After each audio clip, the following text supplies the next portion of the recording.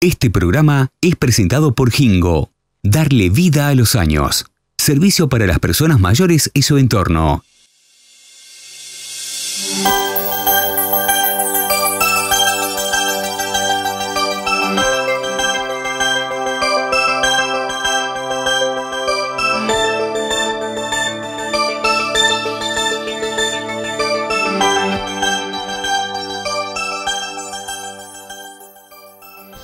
Bienvenidos Hablemos de Salud.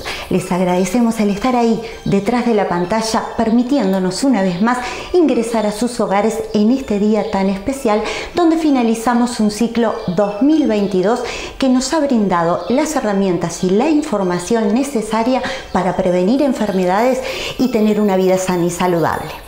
Ahora es nada más de comenzar un nuevo año, un 2023 que nos volverá a encontrar juntos, semana a semana como lo hemos hecho hasta ahora, donde afirmaremos los conocimientos adquiridos en este año que finaliza y obtendremos nuevos conocimientos de la mano de nuestros asesores médicos.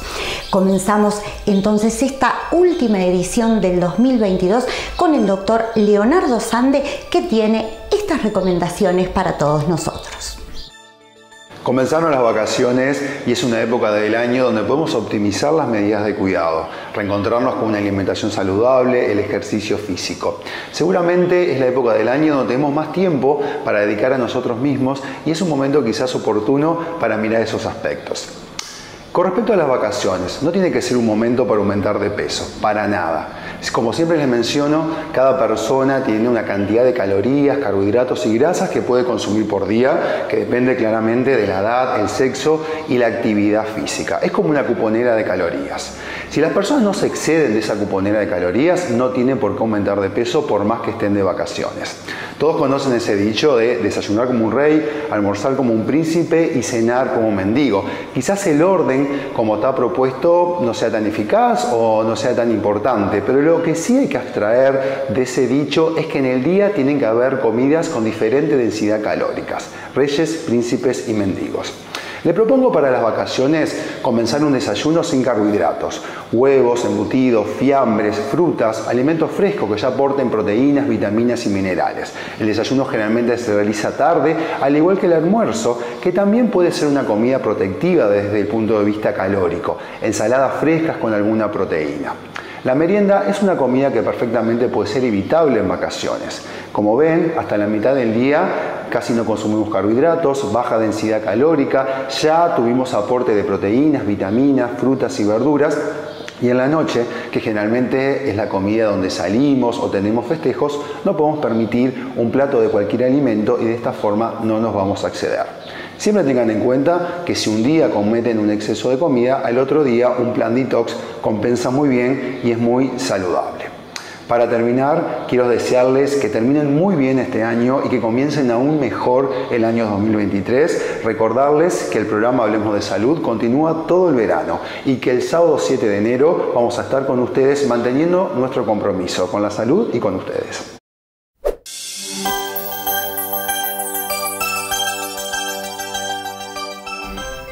Estamos a pocas horas de culminar este año 2022 y no quiero dejar pasar la oportunidad nuevamente de agradecerles como asesora de Hablemos de Salud y en nombre de todo el equipo de Dental Deluxe por estar siempre con nosotros, acompañándonos durante este año, informándose, averiguando, siempre consultando y siempre queriendo saber más para poder sentirse mejor y estar mejor con su salud bucal. Para nosotros es muy importante tener esa ida y vuelta con ustedes y nuevamente y de corazón queríamos agradecérselo. Recuerden recibir el año con una gran sonrisa. La sonrisa es una línea curva que lo endereza todo y eso es así. Créanme que siempre cualquier dificultad que uno enfrente con una sonrisa la va a pasar mejor. Así que le deseamos un hermoso comienzo de año y nos vamos a reencontrar en pocos días porque nosotros y el equipo de Hablemos de Salud vamos a continuar, como siempre, acompañándolos durante todo el año, trayéndoles muchas novedades de esos que nos gustan a todos, casos clínicos de rehabilitaciones para ver soluciones reales y posibles y sobre todo accesibles para todos nuestros pacientes. En esta época del año es indispensable para nosotras saber cómo mantener la coloración de nuestro cabello, especialmente si nos exponemos al sol o al cloro de las piscinas. Jimena Arias, especialista en diagnósticos capilares, nos habla al respecto. Hoy quiero darles recomendaciones sobre aquellas que usan coloración tono cobre o caoba. Estos colores que se han puesto de moda últimamente son tendencia mundial, llevan de muchísimo cuidado. ¿Por qué? Porque estos pigmentos de estas coloraciones se fugan muchísimo más rápido. Entonces, para aquellas que tienen estos tonos, quiero contarles que tienen que lavarse el cabello con agua tibia, no exponerlo al sol ya que nos decolora el, el cabello y además usar protectores térmicos a la hora de utilizar herramientas de calor. Recuerden, todo lo que sea calor lava nuestro color muchísimo más rápido. Y hoy no quiero dejar pasar este día para desearles un excelente año 2023 a todos. Brindaremos con ustedes. La doctora Gabriela Novelo nos brinda recomendaciones para evitar quemaduras por uso de pirotecnia y por exposición al sol. Bueno, en primer lugar quiero eh, agradecer a todo el equipo de Hablemos de Salud por permitirme formar parte de este bueno, gran equipo, ser asesora del programa y poder estar con ustedes en sus hogares todas las semanas. Centrándonos en esta fecha tan especial, hoy 31 de diciembre, en donde brindamos con amigos, con la familia, eh, es fundamental tener, recordar ciertas cosas que eh, tratamos de evitar, como es el uso de pirotecnia, fundamentalmente para evitar lesiones de quemaduras a nivel tanto a unos mismos como a los más chiquitos que muchas veces quieren participar de esta situación y llevan la peor parte por una quemadura a nivel de sus extremidades. También recordar que la pirotecnia eh, afecta a los niños con autismo, afecta a los ancianos y a nuestras mascotas, que son parte de nuestra familia. También recomiendo, ahora que se viene la época de calor, de verano, que ya estamos en, el verano, que cuidémonos del sol, tratar de ir en horarios aconsejables antes de las 11 de la mañana y luego de las 16 horas, utilizar desde la mañana protector solar, ¿sí? Eh, a, nosotros y a nuestros hijos eh, para evitar quemaduras del sol. La radiación ultravioleta lleva a eh, quemaduras de primer, incluso de segundo grado, las quemaduras conflictenas, lo que son las ampollas, ya estamos ante una quemadura de segundo grado. Y recordar que además estas lesiones fotoacumulativas a lo largo de, de toda la vida, comienzan desde la infancia, lleva a una de las patologías más frecuente en nuestro medio que es el cáncer de piel. Utilizar gorro, utilizar lentes y bueno, y eso, ir en horarios recomendables. les deseo que tengan un 2023 con mucho amor, mucha paz, mucha energía y que puedan lograr todos sus objetivos en este próximo año. Y además les quiero hacer hincapié que nos vamos a encontrar la próxima semana, ya que el programa Hablemos de Salud y todos nosotros los asesores vamos a tener una continuidad durante todo el año. Presentó Casmo. Elegí lo mejor para vos y los tuyos. Casmo, estamos para cuidarte. En Círculo Láser creemos que la tecnología se debe al bienestar de las personas. Por eso, hace más de 29 años que brindamos la mejor atención basada en los pilares de la excelencia y la calidad.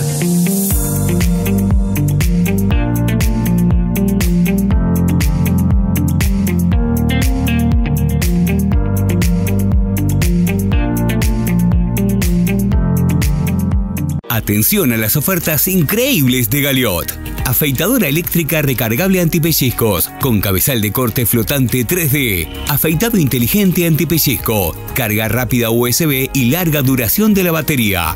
Solo en Galiot. Compre a través de nuestra web, teléfono, WhatsApp o en nuestro local en Acevedo Díaz 1755 frente a la Terminal Tres Cruces. Envíos a todo el país. Residencial La Rochelle, centro dedicado desde hace 15 años al cuidado y recuperación de los adultos mayores. Tenemos habitaciones confortables, iluminadas y equipadas con aire acondicionado, con todas las medidas de seguridad para evitar caídas y accidentes, diseñadas especialmente pensando en su comodidad en un entorno único y familiar, rodeado de naturaleza que hace placentera su estadía. Deje el cuidado de sus seres queridos en nuestras manos. Su bienestar es su tranquilidad. En Sangrilá, Residencial La Rochelle. 099 75 18 00. Anote 099 75 18 00. Somos Emergencia 1 Cumplimos 20 años y lo festejamos con planes mucho más económicos con la calidad de siempre. Brindamos atención en emergencias y urgencias, atención en policlínicas y consultas telefónicas las 24 horas. Y si tu mutualista es médica uruguaya, podés acceder a nuestro nuevo plan especial 20 años a partir de 350 pesos al mes. Afiliate al 0800 8336. Te deseamos unas muy felices fiestas y un próspero año 2023. Contá con nosotros. Y para responder a sus consultas sobre la Asociación de Residenciales del Uruguay, está aquí junto a nosotros Gerardo Note, quien nos dice por qué es una garantía para los familiares la elección de residenciales asociados a Aderama. Aderama tiene 23 años de existencia. Fue fundada en el 1999. En junio del 2001 tuvimos personería jurídica. Representamos un 20% de los residenciales que el MIDES tiene contactados. Somos más de 250 residenciales. Todos los residenciales de Aderama, todos están registrados en el BPS como corresponde. Todos están registrados en el Ministerio de Salud Pública e identificados por el Ministerio de Desarrollo Social. Eso es garantía para todas las personas que quieren buscar un residencial y lo encuentran en Aderama. Pero como si eso fuera poco, a los socios Aderama les exige un compromiso escrito de comportamiento ético, de un trato digno con el adulto mayor.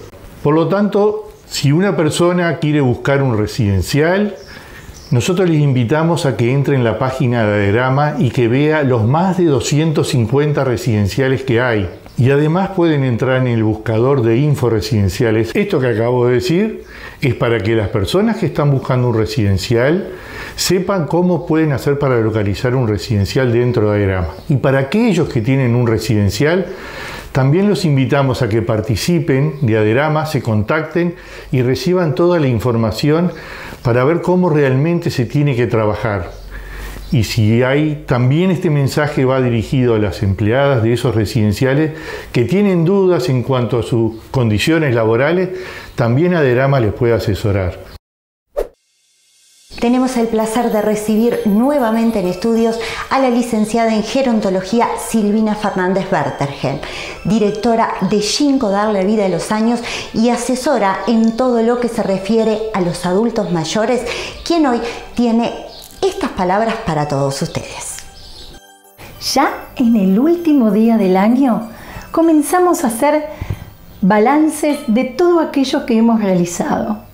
La verdad es que es importante reflexionar sobre lo que hemos transcurrido en este 2022 para mejorar en el 2023 y ofrecer aún cosas más enriquecedoras y que les sirva tanto a las familias como a nuestros mayores. Gente que es importante en nuestras vidas y que debemos trabajar aún más el día a día, porque ellos día a día nos comparten su legado. Cinco darle vida a los años. De todo corazón les desea un muy feliz año nuevo y les deseo y los convoco a seguir trabajando juntos en este año que está por comenzar, 2023, que se cumplan todos los proyectos de cada uno de ustedes. Diego Sánchez, director de Residencial Vilmore, uno de los residenciales asociados a Aderama, está aquí con nosotros y se dirige a ustedes de esta manera.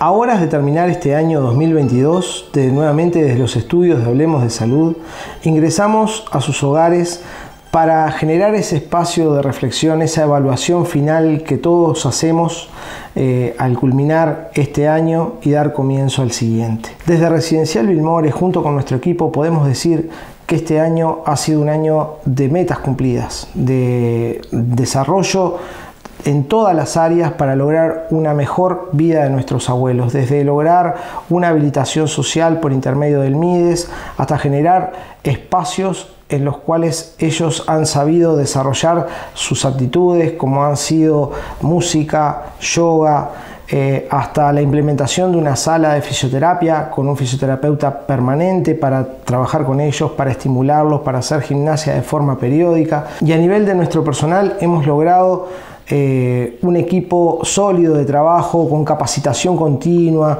con realización de cursos que los han hecho a ellos ser más profesionales en el desarrollo diario de su tarea de cuidado de nuestros abuelos. Esto nos lleva a que nuestro residencial Vilmore como lo dice nuestra misión, sea un referente en la zona, siempre apuntando a la profesionalización del trabajo y la humanidad de la asistencia a la tercera edad y a todos nuestros usuarios. Los invito a acompañarnos en este proceso y también los invito a reflexionar, a fijarnos nuevas metas, a dar ese abrazo de contención a ese abuelo, a esa persona de la tercera edad de nuestra familia que lo necesita, darles la mano, darles la mano en todo momento y recordar que ellos, ellos siempre nos dieron la mano, siempre tuvimos una mano tendida en que aferrarnos para salir adelante y para superar todos nuestros problemas. Dicho esto, les deseamos desde Residencial Vilmore junto con nuestro equipo que este próximo año los encuentre juntos a toda su familia y afectos, logrando todas las metas que se propongan. No más que decir que muy, pero muy feliz 2023 para todos.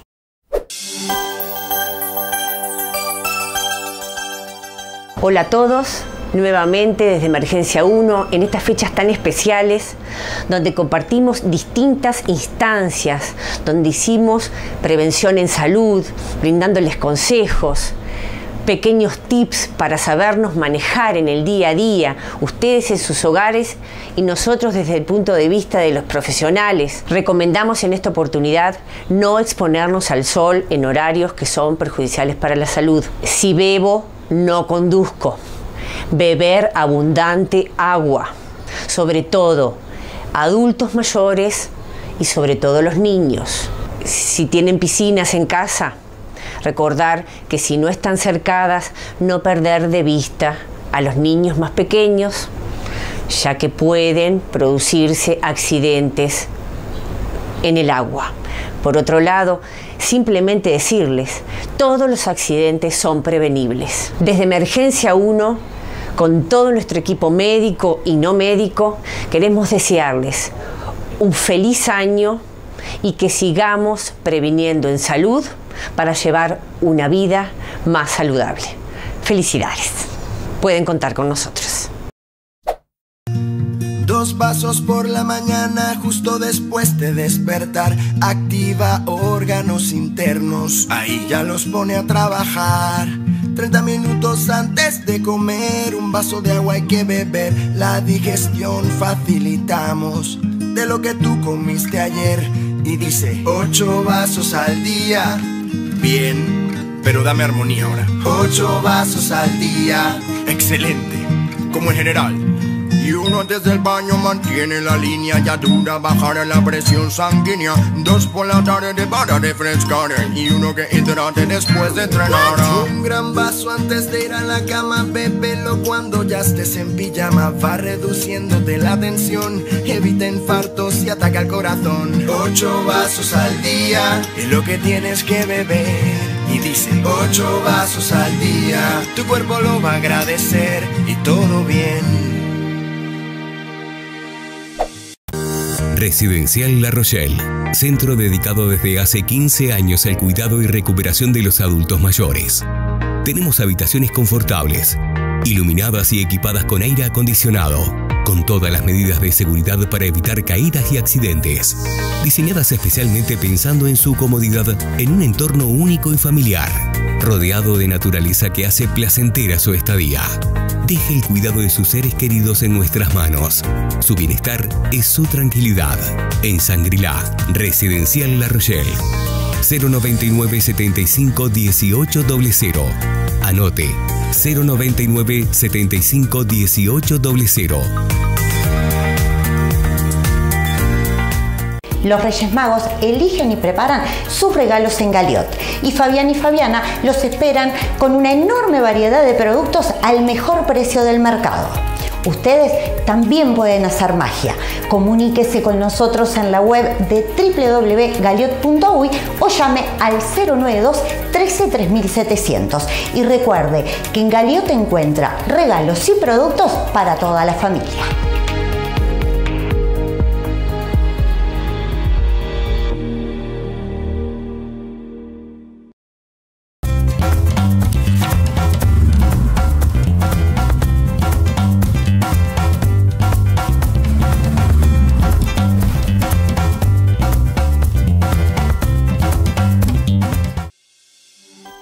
Cuando los temas de salud se vuelven prioridad a nivel nacional y tenemos la fortuna de tener como ministro de Salud Pública a un excelente profesional con objetivos claros y desafiantes y con proyectos innovadores que llevan a grandes cambios en la salud de toda la población, debemos reconocerlo.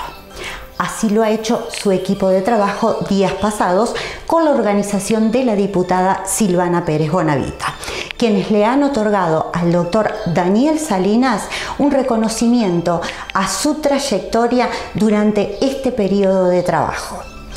Nosotros estuvimos presentes y queremos compartir con todos ustedes parte de las palabras que brindó nuestro ministro de Salud Pública, el doctor Daniel Salinas. Se hizo algo que fue muy importante.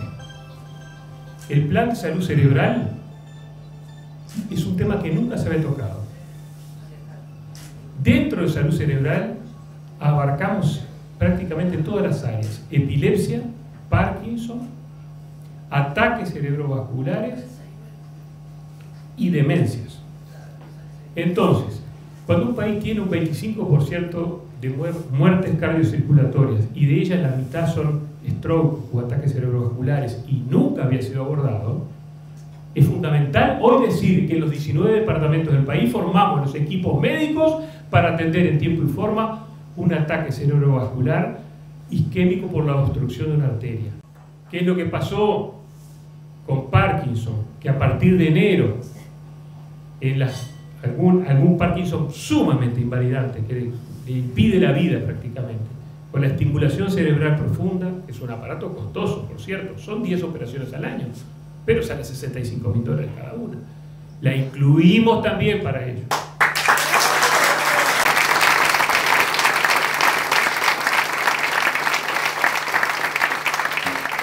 La demencia. Después de los 70 años, el 10% tiene demencia. Después de los 80, el 20%. Después de los 90, el 30% de la población. Estamos terminando y validando con la Asociación Internacional de Alzheimer para febrero el primer Plan Nacional de Demencia de Tratamiento Integral, incluyendo al cuidador del paciente con Alzheimer. Se están actualizando absolutamente todos los equipos aceleradores lineales, braquiterapia y todo lo que va a permitir la radiocirugía por radioterapia, que es fundamental. Se autorizó para las empresas que tienen, que están afiliadas a FEPREMI, que son la Federación de Prestadores Médicos Interior, la instalación en el sanatorio americano de equipos de primerísimo nivel. Pero además de eso, tomamos nota de todas maneras hicimos que fuera una meta prestacional, que es un plus que se les paga a los prestadores de salud, la pesquisa de cáncer de cuello de útero, de mamografía y de cáncer de colon. En la pérdida sanguínea intestinal, en vez de ser cualitativa, va a ser cuantitativa. Y a partir de eso se puede indicar la fibrocolonoscopia o no. Y después de los 50 años, en vez de hacer un PAP, vamos a incluir hacer un test de HPV, que es lo que corresponde. Y en términos de prevención, ¿qué hicimos? Aumentamos las edades de vacunación para estar alineados al objetivo en el 2030 o la aspiración al 2030 de la erradicación del, cáncer de cuello de útero, aumentando la edad de vacunación de los niños que va de hasta los 14 años iba y ahora va a ir hasta los 26 años, empezando la cohorte en los nacidos en 2001. Entonces, de esa manera, vacunando niños y varones del virus, del papiloma virus, que se llama Human Papilloma Virus, que es lo que genera el cáncer de cuello de útero, y logrando niveles de inmunización importantes, se evita la transmisión de este virus que genera el cáncer de útero. ¿Y qué hicimos con el tratamiento? Hicimos la prevención, hicimos el diagnóstico de situación, hicimos en los tratamientos de radioterapia e incorporamos nuevos tratamientos para cánceres avanzados de mama, para cáncer de colon, para mieloma múltiple. Seguimos trabajando para incorporar cosas. Pusimos el, tratamiento para la atrofia medular espinal, que es una tristísima enfermedad. Pusimos el tratamiento para la hemofilia A.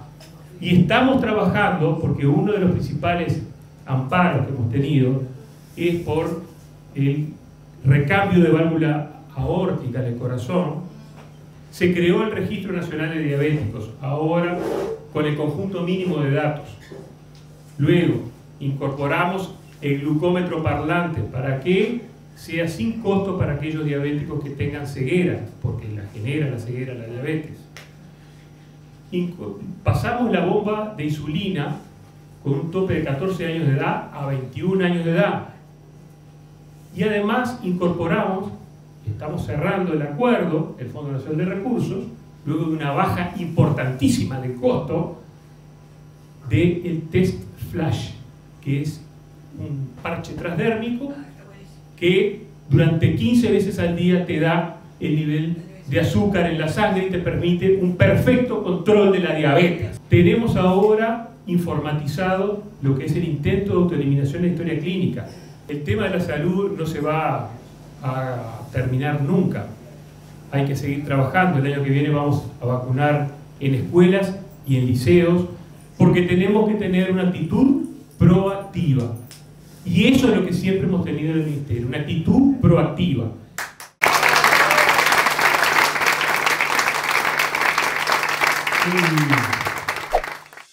Y finalizando este ciclo 2022, nuestro asesor, el doctor Luis Ubillos, vicepresidente del Instituto Nacional del Cáncer, se dirige a nosotros para contarnos cuáles fueron los avances y cuál fue el trabajo que han realizado en beneficio para aquellas personas que padecen o que han padecido algún tipo de cáncer y cómo se proyectan para el 2023.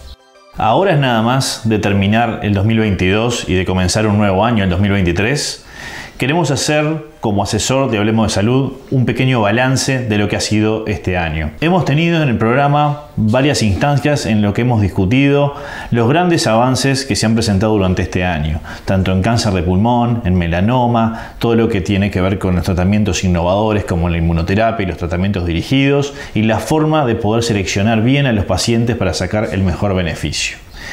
Esos beneficios que son a nivel de la ciencia internacional, están siendo volcados aquí en Uruguay afortunadamente y hoy podemos contarles de forma optimista que estas cosas se están utilizando con nuestros pacientes.